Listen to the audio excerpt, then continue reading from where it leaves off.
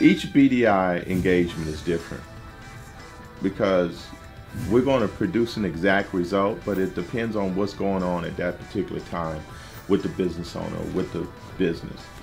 In the case of T&T, um, Mr. Silva is is transitioning because the organization is now going from and, and you have to understand it is now the, considered the largest and here's the thing that I really had to handle Mr. Silva on I said Mr. Silva you know we're already considered the best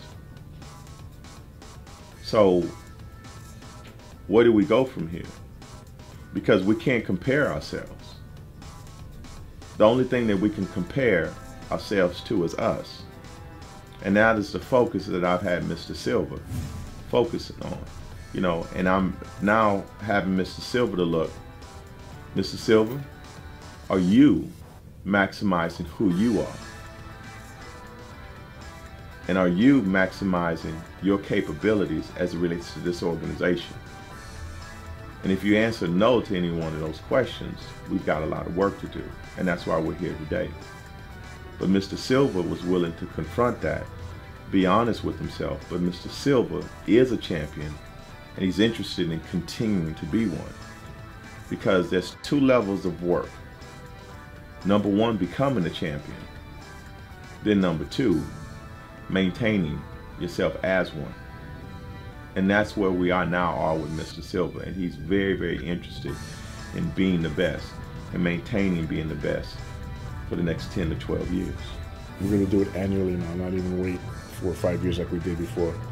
We're going to budget for it and do it every single year as ongoing training for new people and just refreshing the executives and the managers and just keep it going on an annual basis so that we, we, we just keep it fresh. I really pushed him really hard this time. I said, look, we got to go in and handle. And uh, he allowed me to come in. We did an analysis on the organization. And in the analysis, he was able to spot where he was could have been making additional profits, you know, well into the six figures. So, and then he was also able to assess exactly where the organization was weak and why. And he got the exact answers to his questions, you know, so then he didn't have to guess, he knew. Um, and then I told him, as, as relates to us as an organization, what steps we could do to attack those particular issues and problems. And I showed him what we can guarantee him as a return if we allow to do that. And it was a no-brainer for him. So he allowed us to start, and here we are.